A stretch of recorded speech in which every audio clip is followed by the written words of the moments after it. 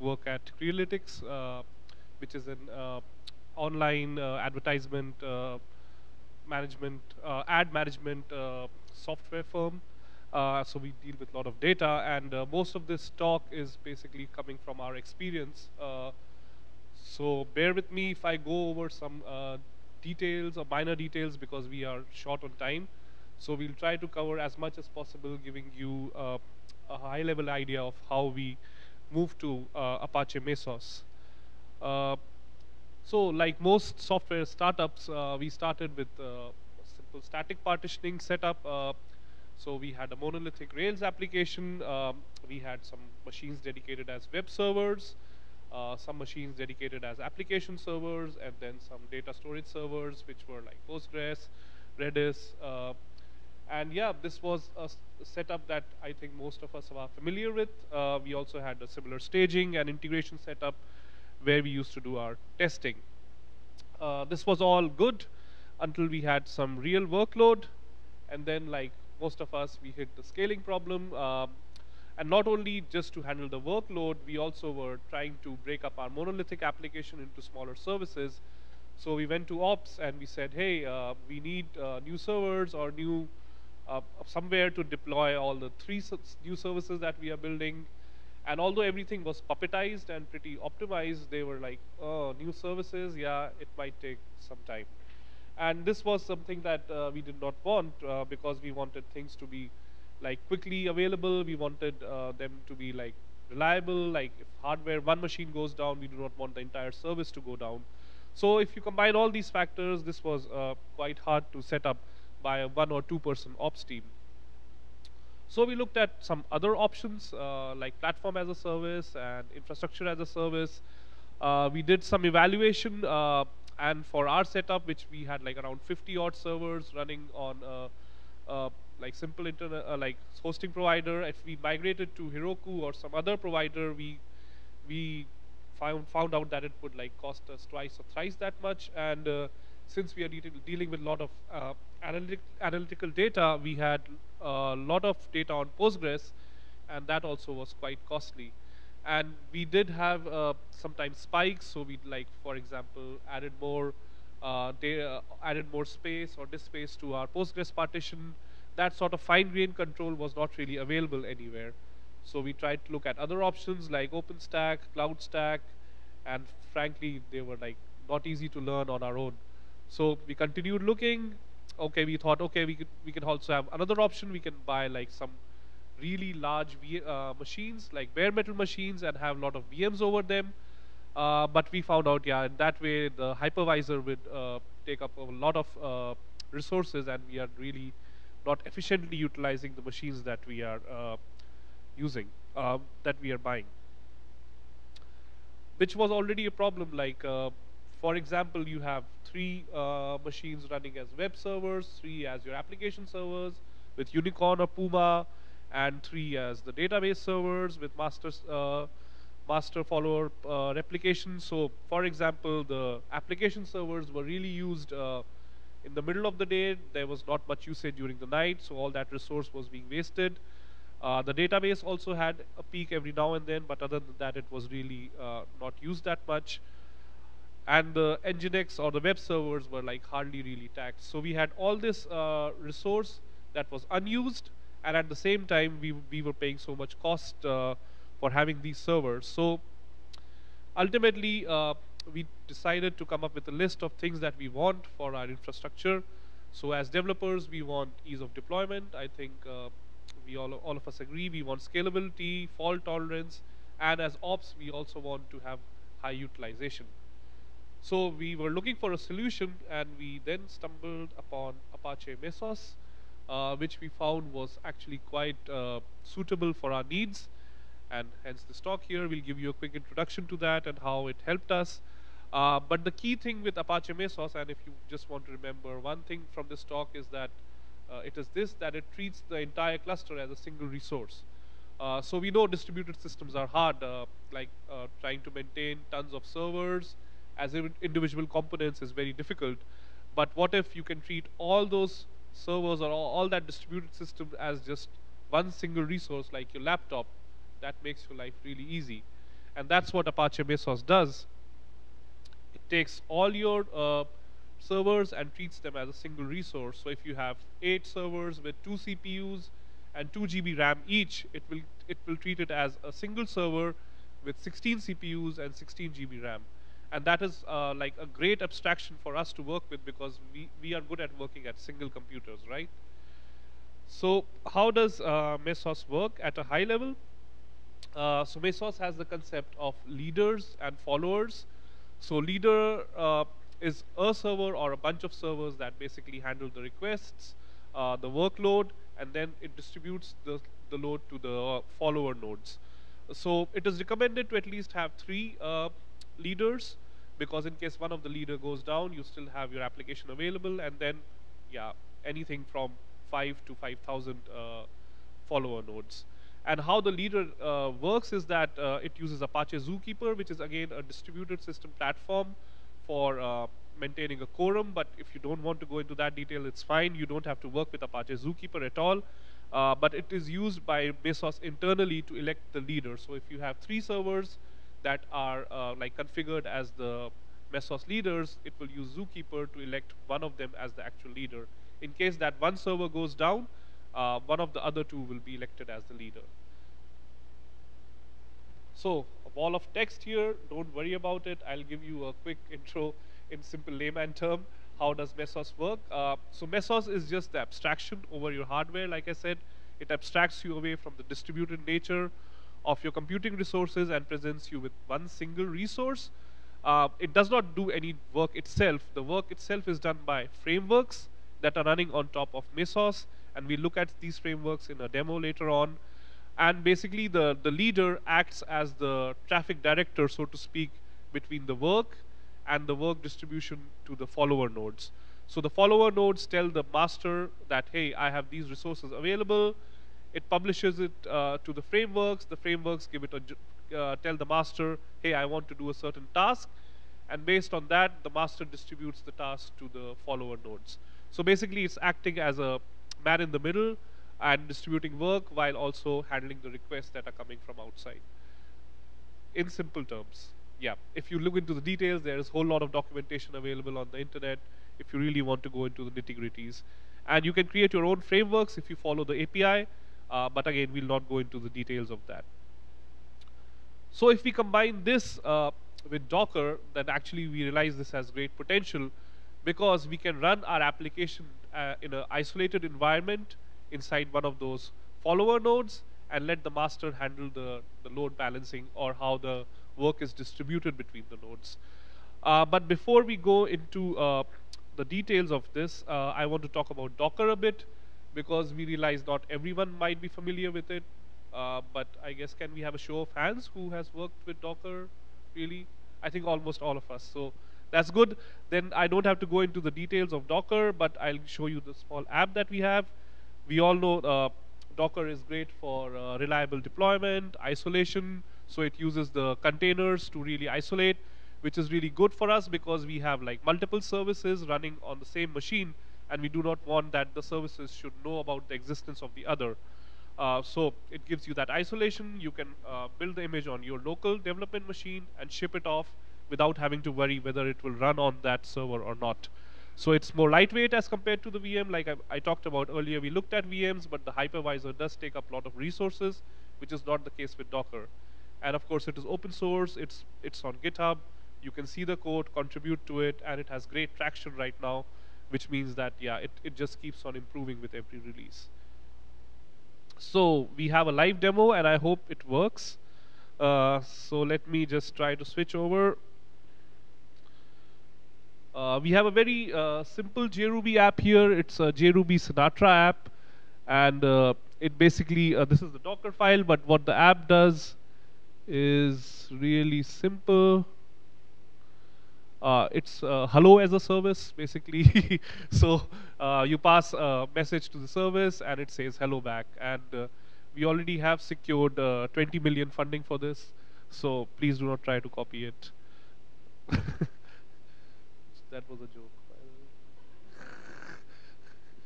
anyway, so yeah, we have this Docker container uh, uh, defined for this. This is the Docker file. We use JRuby 9K, and actually uh, the magic of Docker is that we don't even have to install JRuby 9K or any software on our servers. Uh, the, do uh, the, Docker container takes care of that, and I have a user there, which is basically where we run this app, uh, and basically it runs a Puma server on a certain port, and that's how the Docker container is configured. So I can do a Docker build for this and uh, run the container, but since you all are familiar with Docker, I will not do everything. Uh, I'll just run the container, expose the port, and hopefully this works.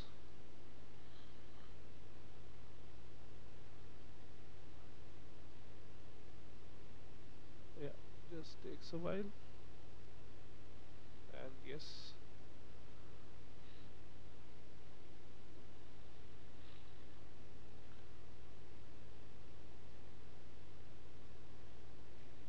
and of course the live demos are always a problem.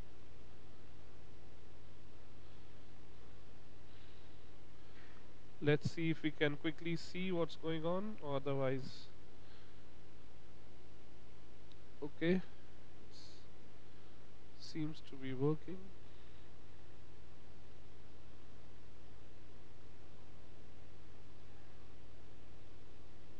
Or the boot to docker IP or something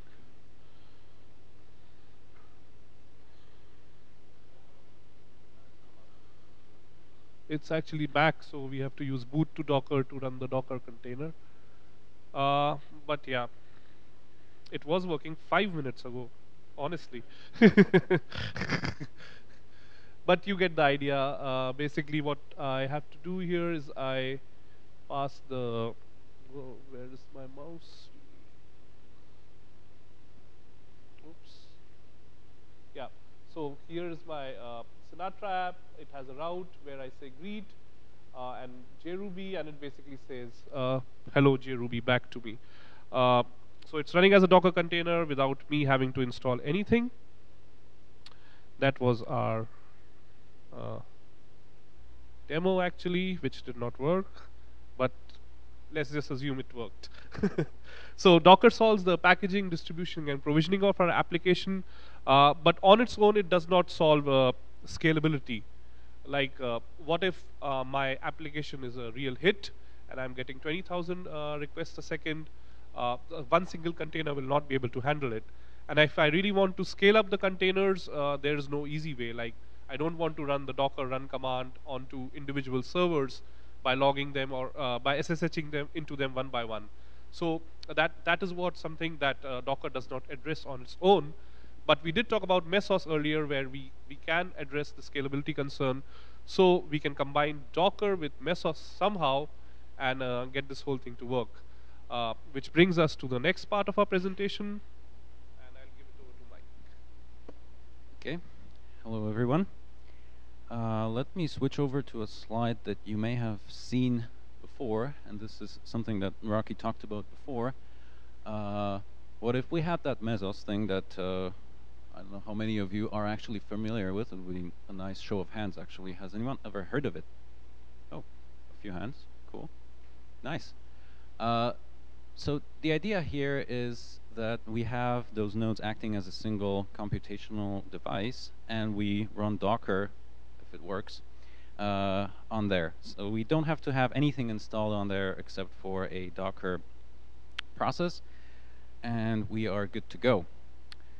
Uh, actually, Rocky covered this pretty well, but uh, let me do a little bit of a refresher on the terminology here, because we will be talk. Uh, I will be showing you uh, those frameworks, those schedulers and executors that run on top of uh, Mesos, and those can be schedulers, which are think of them as cron tasks. So you need a nightly uh, cleanup of logs or something like that, you can use uh, a scheduler to schedule those kinds of tasks. And executors are the frameworks that actually run your long-running application. Uh, we're talking web application servers or background processing, that kind of thing. Um, this is an example of a scheduler. Uh, it's called Chronos. It has been developed by Airbnb. And we will actually not be showing this uh, just in the interest of time, but uh, it's fairly simple.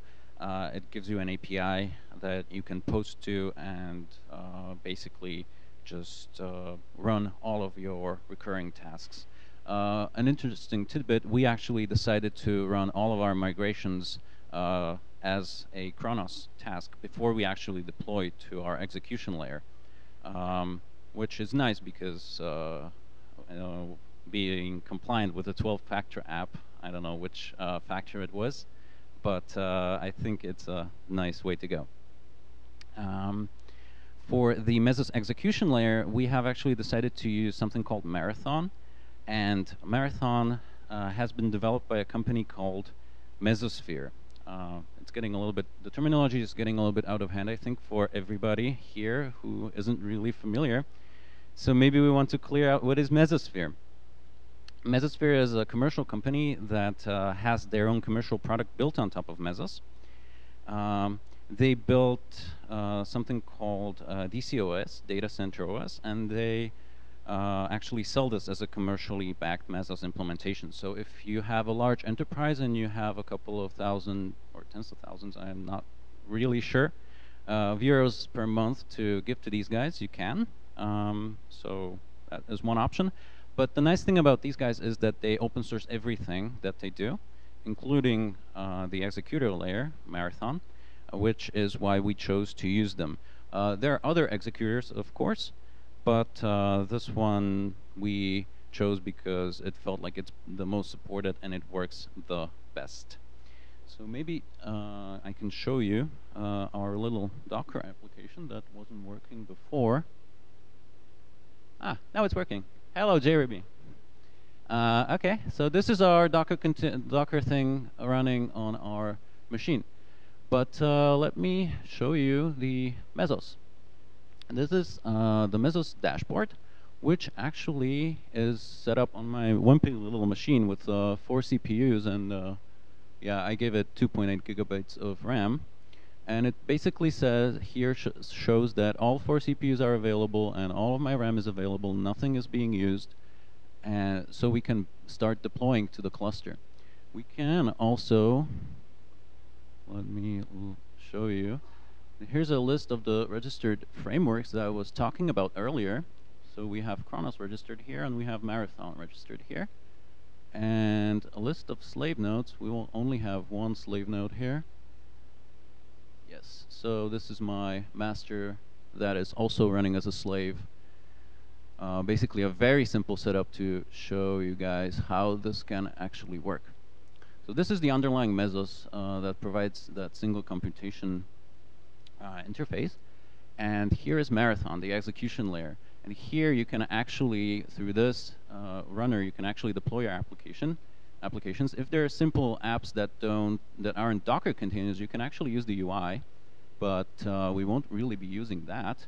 We will be actually using the API that this thing provides. And I don't know if I should actually. Can you guys see it, or should I zoom in uh, to the uh, payload?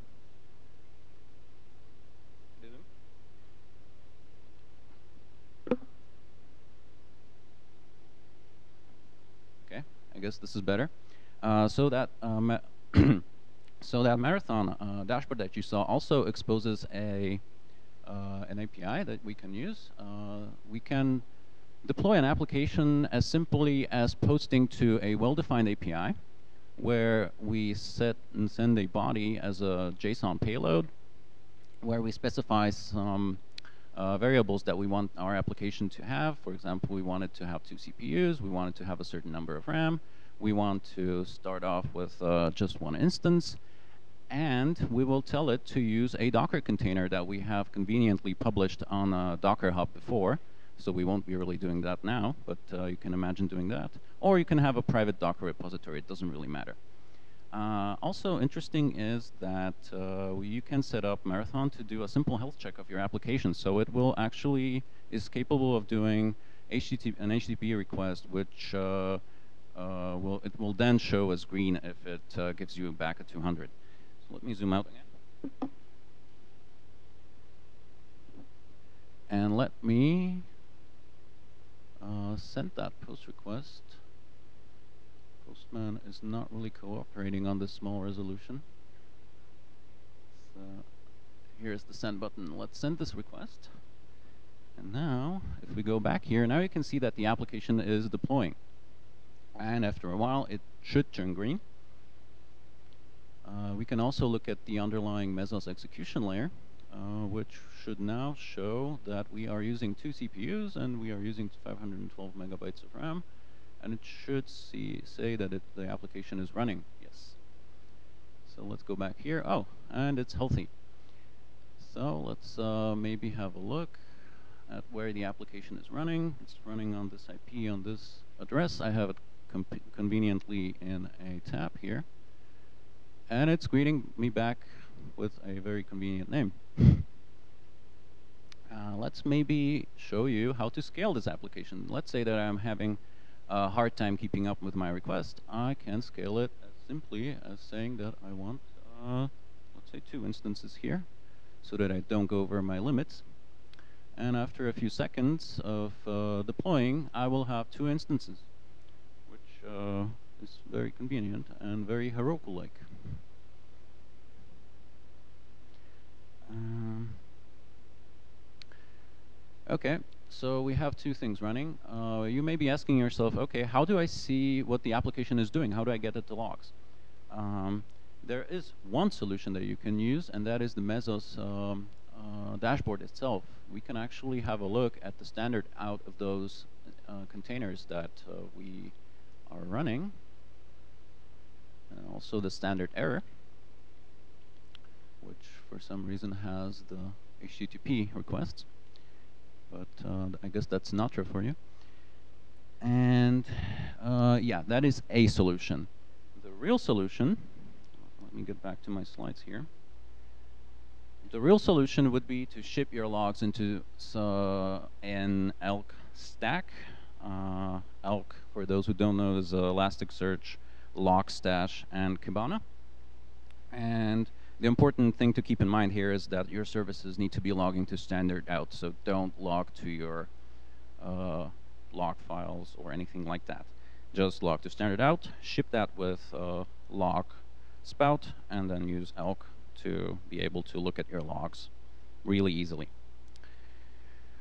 So, uh, let me recap the benefits here because we already said them, said most of them, but uh, they are easy scalability, like you saw. I can just do a few clicks and I can have multiple instances to handle my load.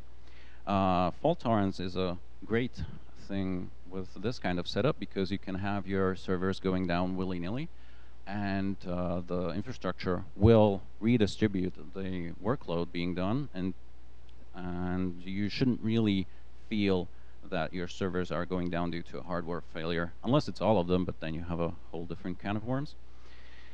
Um, you can also improve your utilization uh, this way because you don't have statically provisioned uh, boxes. You just have processes running on your on your infrastructure, and you don't necessarily have to care about anything else.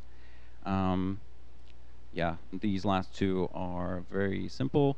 Uh, it's all, but uh, easy to scale down is also an important uh, aspect because you can just take a node out uh, if you are not using your infrastructure, and again, you don't necessarily have to care because it's very simply uh, configured. There's nothing running in there. Uh, there's just Docker, and that's it. i would say that well, at least Ammo is interested in the pitfalls of any kind of technology that people are touting. So let me name a few. Uh, the most, uh, the one that's I think going to bite you the most is that the single abstraction uh, paradigm here is not perfect. Uh, what I'm talking about is if, for example, let's say you have five slave nodes and you're using almost all of the CPUs on all of the nodes. So you only have, let's say, one CPU per node left. You will not be able to provision an application which you want to have which you want to have two CPUs. Uh, that is something that uh, it's not really possible to distribute an application that wants two CPUs across two boxes. So, like I said, uh, it's not perfect the abstraction, but you uh, should just keep this in mind and not have your uh, boxes completely full. You can have them somewhat 80% full, but not completely full. Otherwise, you're going to run into issues.